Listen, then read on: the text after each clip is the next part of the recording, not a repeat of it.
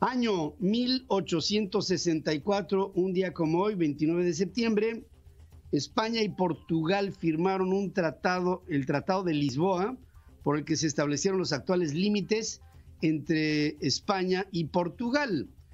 haciendo ver, y esto es importante, que los dos países llegaron a ser imperio